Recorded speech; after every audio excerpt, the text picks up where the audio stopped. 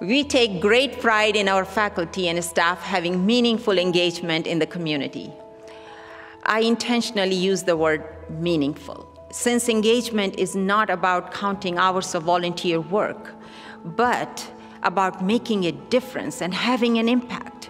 In June of 2020, in the aftermath of George Floyd's tragic and untimely death, the nation awoke to a new era, an era of impactful engagement. I am proud to say that the Racial Equity and Social Justice Committee, under the leadership of Vice President Elwyn Lee and Dean Robert McPherson, devoted many hours to reviewing the university's policies, engaging stakeholders, and encouraging deep dialogues I would like to take this opportunity to recognize the members of the committee who are here present. May I ask all of the members, along with the chairs, to please stand.